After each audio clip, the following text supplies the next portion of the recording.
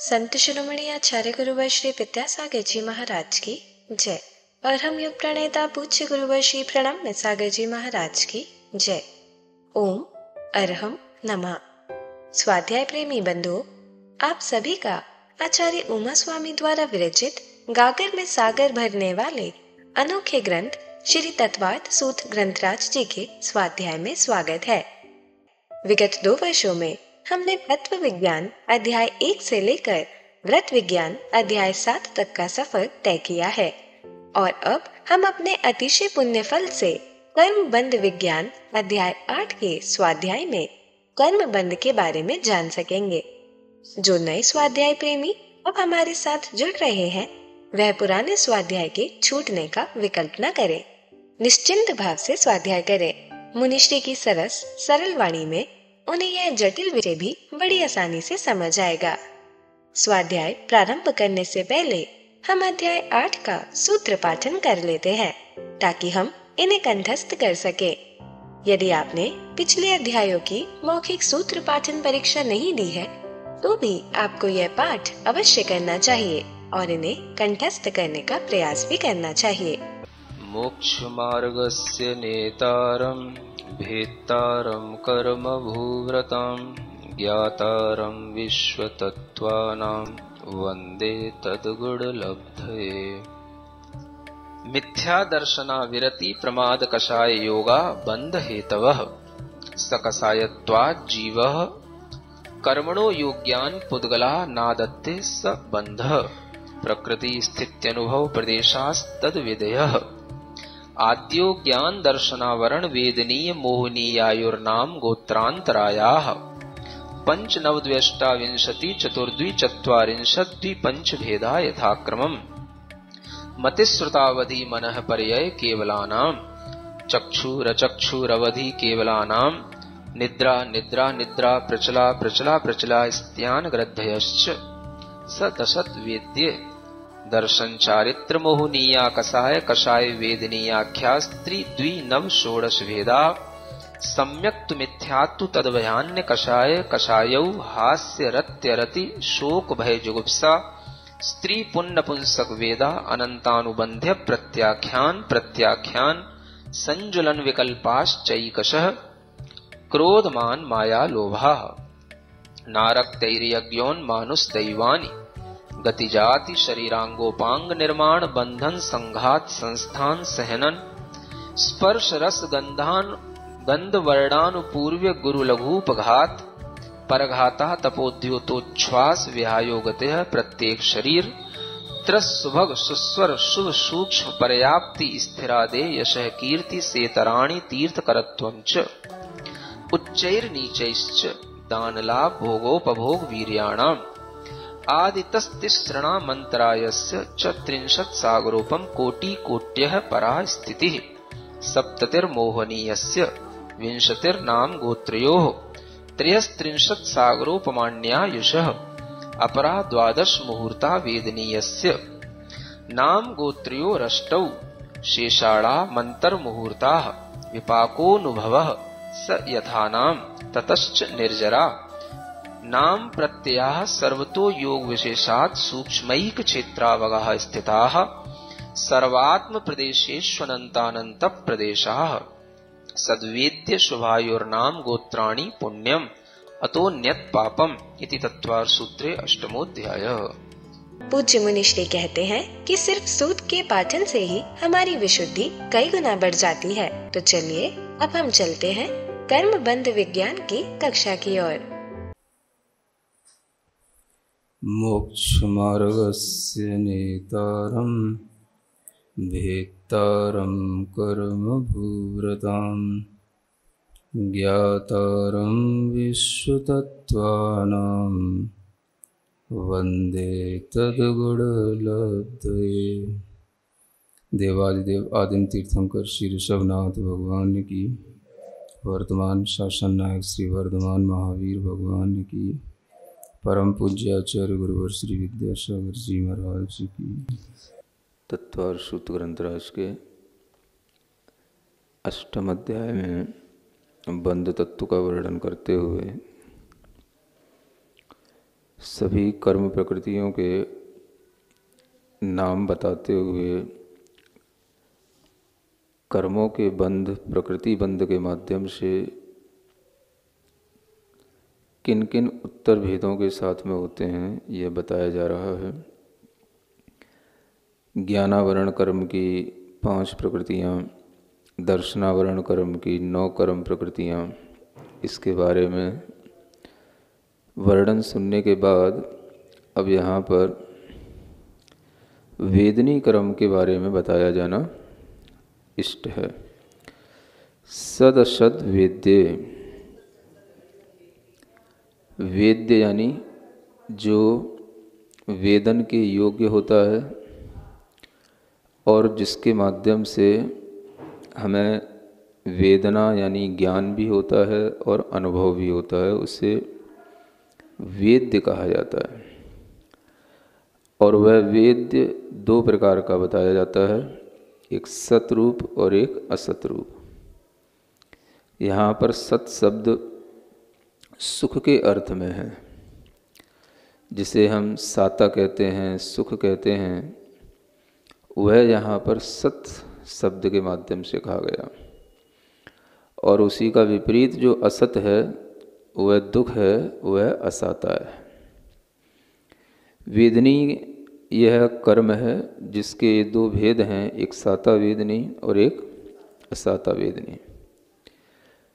इसमें जो साता वेदनी कर्म है, इस कर्म का परिपाक आत्मा के अंदर जीव को जब अनुभूति में आता है, जीव जब साता वेदनी कर्म का फल भोगता है, जब जीव के लिए साता वेदनी कर्म अपना उदय दे कर के उसे फलानुभूति कराता है तो उस समय पर जीव को सुख की प्राप्ति होती है और वह सुख जिस तरह की परिस्थिति हो, उसी के अनुरूप उस जीव को मिलता है। मनुष्य है तो मनुष्य गति का सुख, देव है तो देव गति का सुख। और यह सुख मुख्य रूप से जो प्राप्त होता है, वह देव गति में प्राप्त होता है, क्योंकि लंबे समय तक शारीरिक और मानसिक रूप से सुखी रहने का जो अनुभव होता है, वो देवगति के जीवों को ही होता है।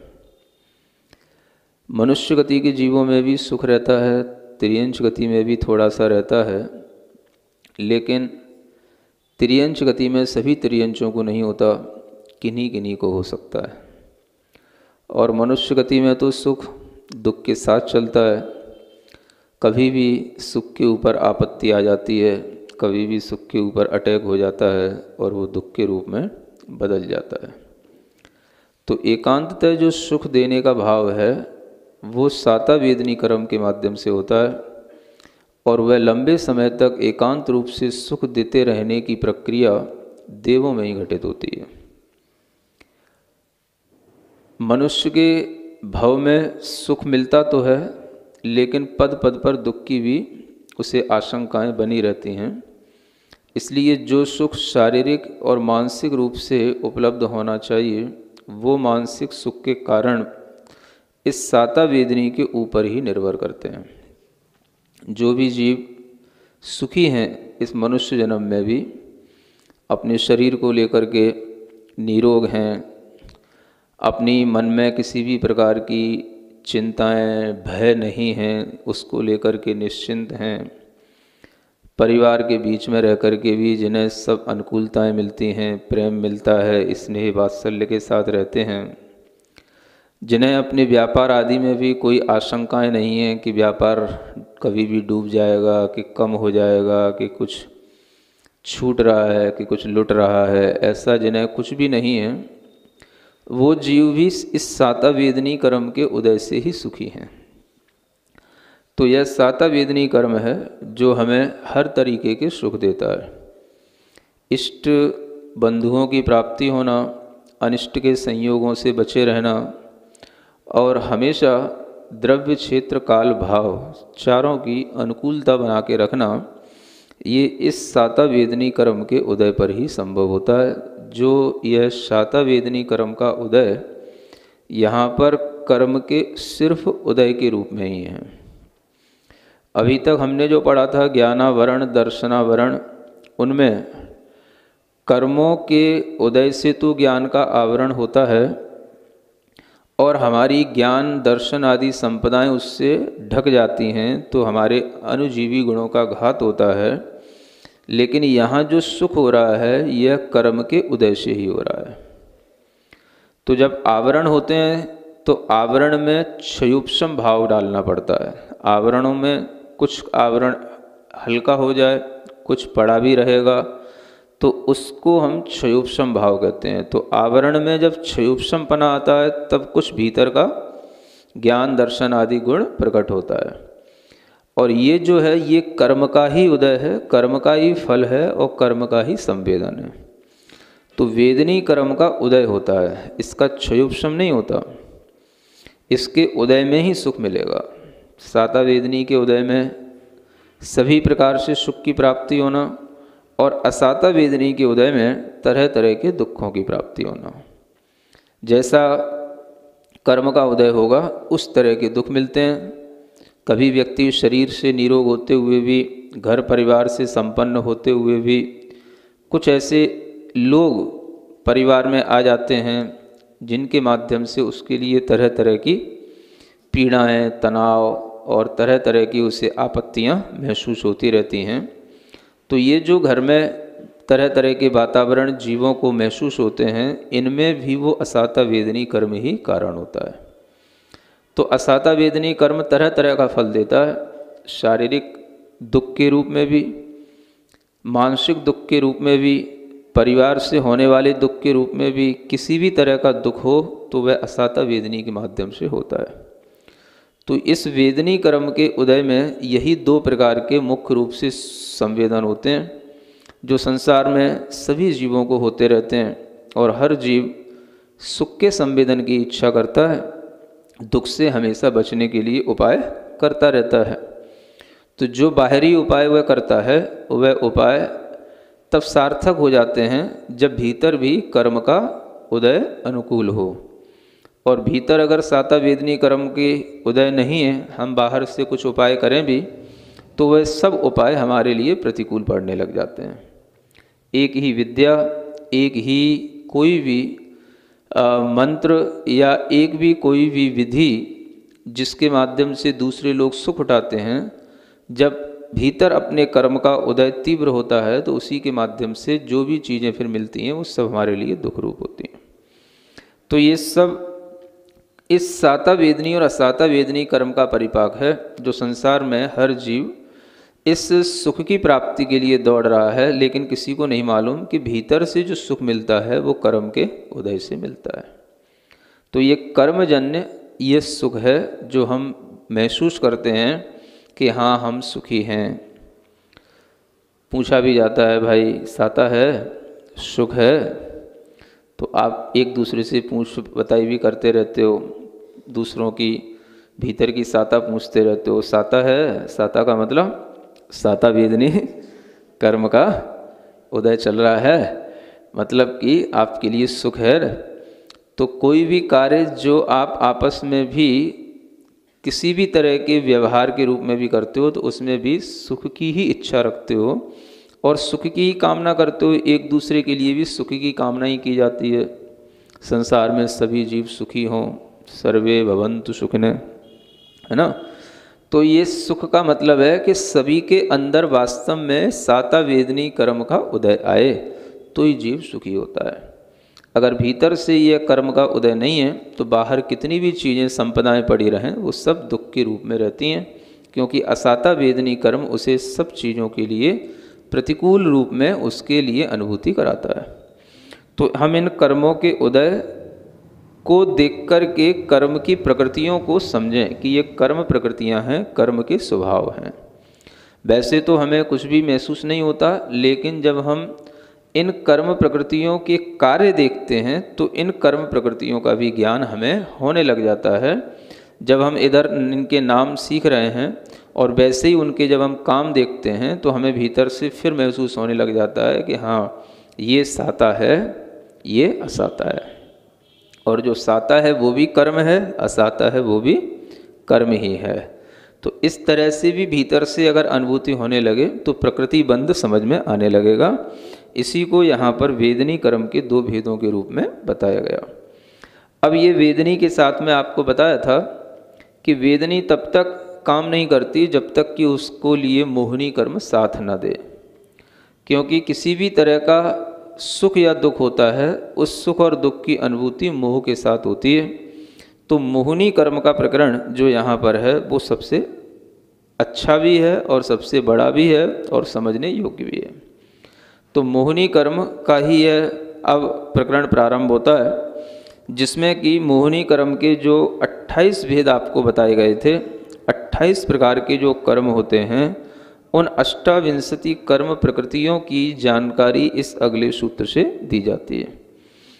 दर्शन चारित्र मोहनीया कषाया कषाय वेदनीयाख्यास त्रिद्विनव षोडश भेदा सम्यक्त्व मिथ्यात्व तदुभयान्य कषाय कषायौ हास्यरत्यरतिशोक भय जुगुप्सा स्त्री पुण्यपुंसक वेदा अनंतानुबंध्य प्रत्याख्यान प्रत्याख्यान संज्वलन विकल्पाश्चैकश क्रोधमान माया लोभा ये इतना बड़ा सूत्र है। क्या बताया गया इसमें? 28 कर्म प्रकृतियों के बारे में यहाँ पर गणना की गई और उसमें भी मुख्य रूप से पहले मोहनी कर्म को दो भागों में विभाजित किया गया। दर्शन चारित्र मोहनीय, यानी दर्शन मोहनी और चारित्र मोहनी। ये मोहनी कर्म के दो भेद हैं। मोहनी कर्म का मतलब जो आत्मा को मोहित करे आत्मा के अंदर मोह पैदा करे और पर वस्तुओं से मोह पैदा होने पर उनके माध्यम से आत्मा के अंदर अलग अलग तरह की विकृति पैदा करे, उसका नाम मोहनी कर्म है। तो ये मोहनी कर्म में जब दर्शन मोहनी आता है तो दर्शन का मतलब यहाँ पर अब देखने का काम नहीं है, क्योंकि देखने वाला कर्म तो दर्शनावरणी कर्म था। अब ये दर्शन श्रद्धा को बताने वाला है तो जो हमारी आस्था को, विश्वास को, श्रद्धा को मोहित कर दे। मोहित करने का मतलब उसको विपरीत कर दे और सही श्रद्धा न होने दे, उसको कहते हैं दर्शन मोहनी। और जो चारित्र को हमारे लिए न होने दे, चारित्र के प्रति हमारे अंदर प्रतिबंध पैदा करे, उसको बोलते हैं चारित्र मोहनी। तो ये दो प्रकार के मोहनी कर्म हैं, जिसके माध्यम से जीव के अपने ही श्रद्धान और चारित्र रूप जो गुण हैं, उनका घात होता है। तो दर्शन मोहनी कर्म जीव के अंदर विपरीत श्रद्धा पैदा करता है और चारित्र मोहनी कर्म जीव को चारित्र नहीं होने देता, उसको सकसाई बनाए रख करके उसे चारित्र से रहित रखा रखा रहता है। ये ही दो कर्म हैं और इन्हीं मोहनी कर्म के इन दो भेदों को आगे और भेदन इनका करके कसाय और अकसाय वेदनी, ये इसके दो भेद आगे किए जाते हैं। ये भेद वस्तुतः चारित्र मोहनी के हैं। जो दर्शन मोहनी है, उसके भेद आगे अलग बताए जाएँगे। चारित्र मोहनी के जो दो भेद हैं, वो दो प्रकार से हो जाते हैं। कसाय वेदनी और अकसाय वेदनी। और इसके साथ में चारित्र मोहनी ये कर्म लगा हुआ है। अगर हम इसको पूरा नाम पढ़ेंगे तो ये हो जाएगा कसाय वेदनीय चारित्र मोहनीय। और अकसाय वेदनीय चारित्र मोहनीय कर्म। फिर इसके ही क्रम से भेद करते हुए आगे कहते हैं, द्विनव षोड़श भेदा।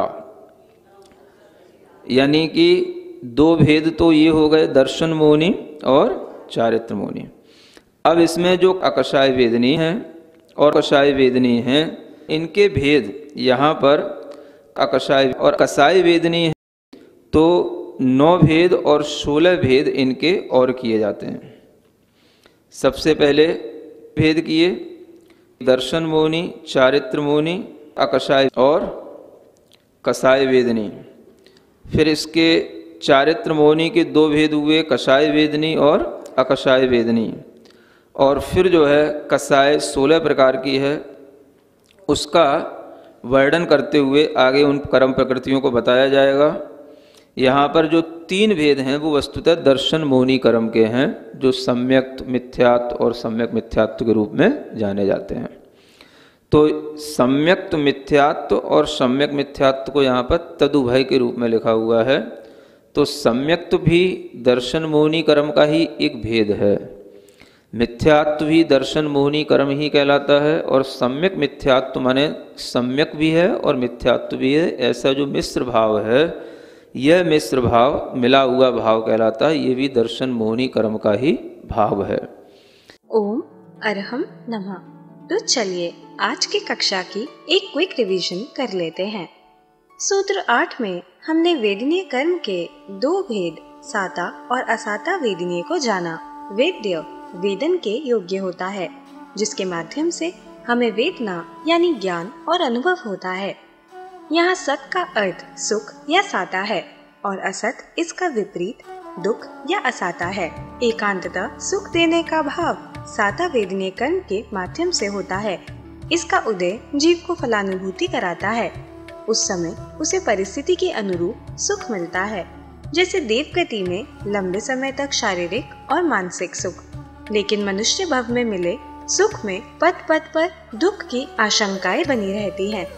साता वेदनीय कर्म के उदय से द्रव्य, क्षेत्र, काल, भाव, चारों की अनुकूलता रहती है जो भी जीव सुखी होते हैं, वे इसके उदय से ही सुखी होते हैं यह हमें हर तरीके के सुख देता है, जैसे शारीरिक और मानसिक सुख, चिंता, भय से निश्चिंतता, परिवार में अनुकूलता प्रेम, व्यापार आदि में आशंकाएँ रहित होना। हमने जाना था कि ज्ञानावरण आदि आवरण कर्मों के उदय में हमारे ज्ञान आदि अनुजीवी गुणों का घात होता है। इसके क्षयोपम में आवरण कुछ हल्के होते हैं और कुछ प्रकट होते हैं, लेकिन यहाँ साता वेदनीय कर्म के उदय से ही सुख होता है। वेदनीय कर्म का उदय होता है, छह क्षयोपम नहीं। असाता वेदनीय कर्म के उदय में तरह तरह के दुखों की प्राप्ति होती है। हमें कर्मोदय के अनुसार ही दुख मिलते हैं, जैसे शारीरिक, मानसिक दुख, परिवार से होने वाले दुख आदि। संसार में सभी जीव मुख्यतः इन्हीं कर्म कर्मजन्य सुख दुख का संवेदन करते हैं। वे सुख की प्राप्ति के लिए दौड़ते हैं और दुख से बचने का उपाय करते हैं। उसके द्वारा किए बाहरी उपाय जैसे कोई विद्या, मंत्र आदि तभी सार्थक होते हैं, जब भीतर साता वेदनीय कर्म का उदय होता है। कर्मोदय के कारण वही उपाय किसी को सुख और किसी को दुख दे सकता है। जब हम व्यवहार में पूछते हैं, साता है? या सर्वे भवंतु सुखिनः, में सब जीवों के सुख की कामना करते हैं तो यह सुख वास्तव में साता वेदनीय के उदय से उत्पन्न सुख होता है। हम इन कर्मों के कार्य को देखकर इनके स्वभाव का ज्ञान कर सकते हैं। इनके काम भी नाम के अनुरूप होते हैं। साता कर्म से हमें साता और असाता कर्म से असाता महसूस होती है।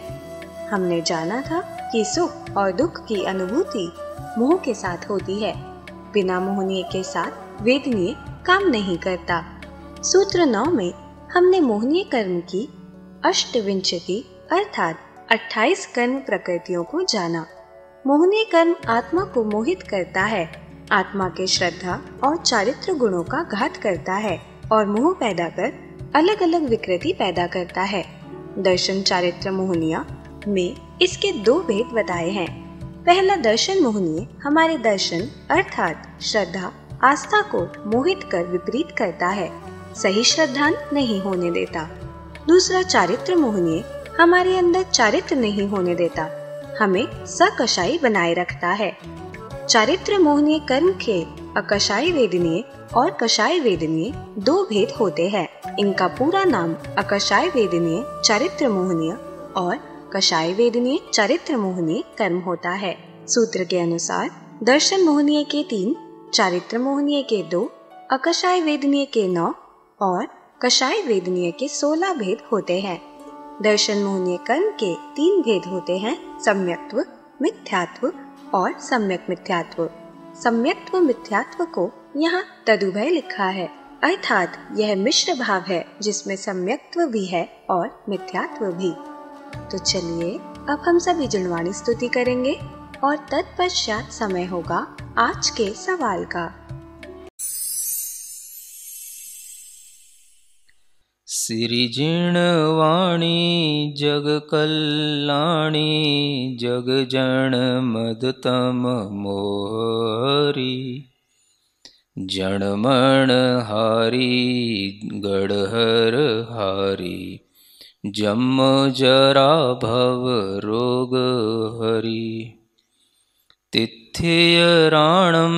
दिवझुणिं जो पडै सुणै मय्ये धारयि। णाणं सौखमणन्तं धर्य सासद मोक्ष पदम पावई सासद मोक्ष पदम पावई अब समय है आज के प्रतियोगिता प्रश्न में भाग लेकर आकर्षक पुरस्कार जीतने का। आप अपने फ़ोन को क्यू आर कोड स्कैन करने के लिए तैयार रखें या दिए गए लिंक पे जाएँ। आप अपना उत्तर चुनकर हमें कल शाम पाँच बजे तक भेज सकते हैं। तीन भाग्यशाली विजेताओं को मिलेंगे आकर्षक पुरस्कार। विजेताओं का नाम इसी कार्यक्रम में हर रविवार को घोषित किया जाएगा। साथ ही सभी प्रश्नों के सही उत्तर भी बताए जाएँगे। आज का सवाल है, जिसके माध्यम से हमें ज्ञान भी होता है और अनुभव भी। उसे क्या कहा जाता है? सावध्य, वैद्य, मोह, अंतराय। अध्याय आठ की कक्षा चौबीस के आज के सवाल का सही उत्तर है कर्म भूमि के तिरंश में। अगर आप किसी कारणवश कोड को स्कैन ना कर पाए हो तो आप क्लास की वेबसाइट पर जाकर भी उन्हें अटेम्प्ट कर सकते हैं। इस लिंक पर जाएँ या क्यू आर कोड को स्कैन करें। धन्य है हमारा पुण्य। जो मुनिश्री हमें कर्म बंद जैसे कठिन विषय को इतनी सरलता के साथ समझा रहे हैं, ताकि हम डेली लाइफ में कर्म बंद के कारणों को जानकर उनसे बच सके। और यह ज्ञान आप अपने मित्र, परिवार, समाज के लोगों को इस स्वाध्याय से जोड़कर उन तक पहुँचा सकते हैं। आप सिर्फ़ उन्हें हमारी वेबसाइट योगा शेयर करें और उन्हें इन सभी क्लासेस के साथ साथ मिलेगा। अभ्यास प्रश्न करके अपने ज्ञान को प्रगाढ़ बनाने का मौका और आज के सवाल में पुरस्कार जीतने का। तो आज ही अपने बच्चों को, मित्रगणों को और परिवारजनों को इस अनूठे स्वाध्याय से जोड़ अपना और उनका पुण्य बढ़ाए। ओम अरहम नमः।